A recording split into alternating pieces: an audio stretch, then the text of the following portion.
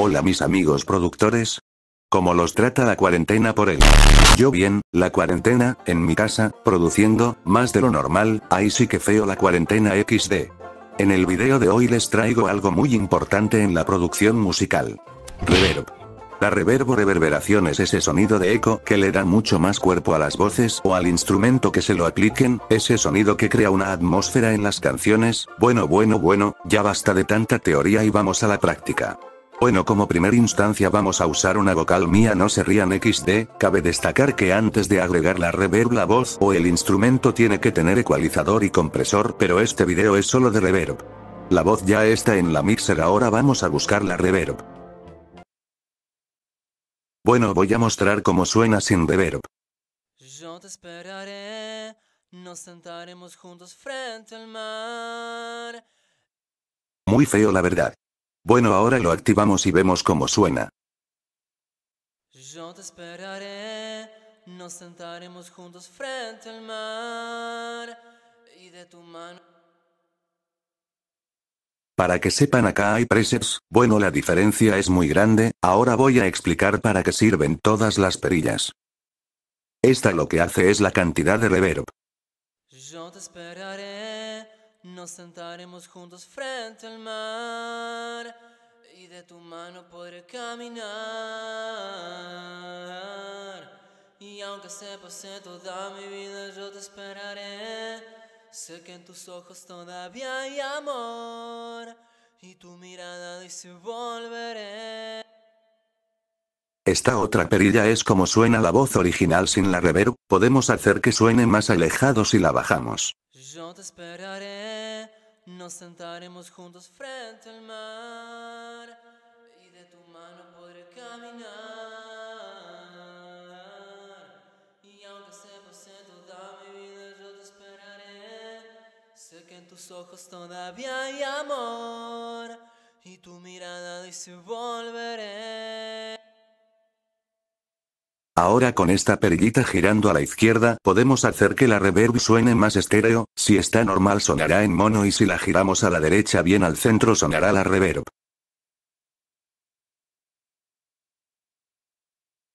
Yo te esperaré, nos sentaremos juntos frente al mar y de tu mano podré caminar. Y aunque se pase toda mi vida, yo te esperaré. Sé que en tus ojos todavía hay amor y tu mirada dice volveré. Yo te esperaré, nos sentaremos juntos frente al mar y de tu mano podré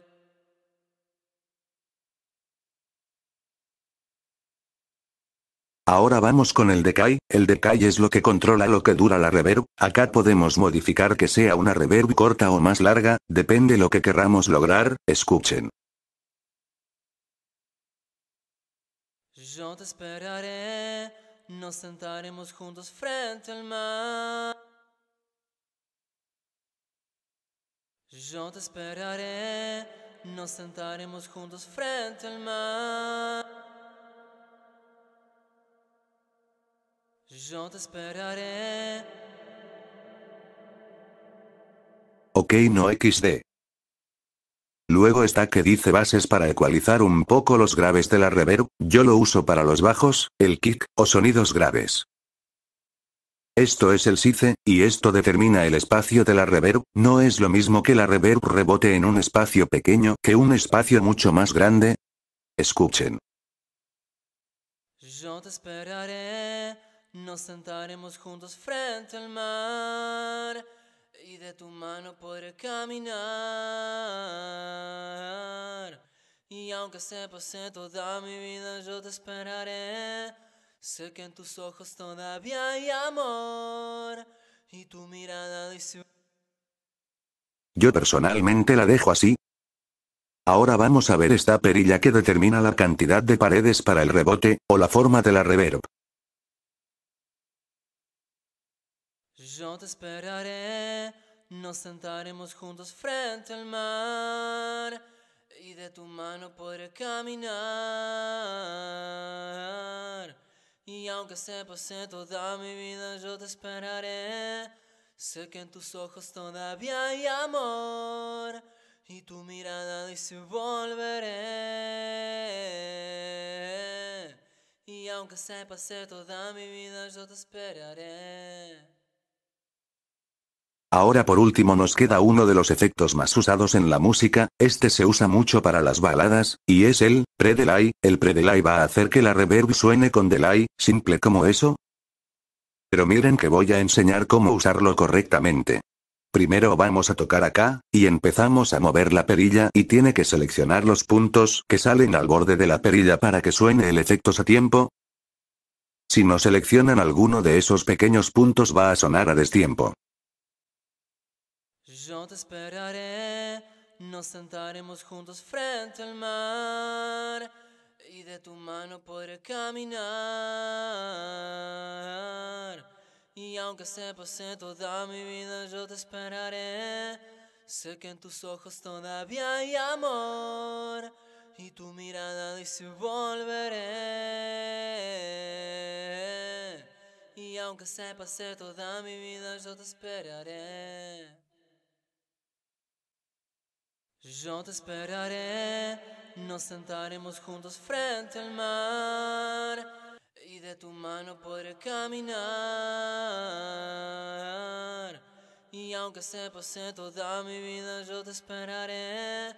Sé que en tus ojos todavía hay amor y tu mirada dice volveré. Y aunque se pase toda mi vida, yo te esperaré.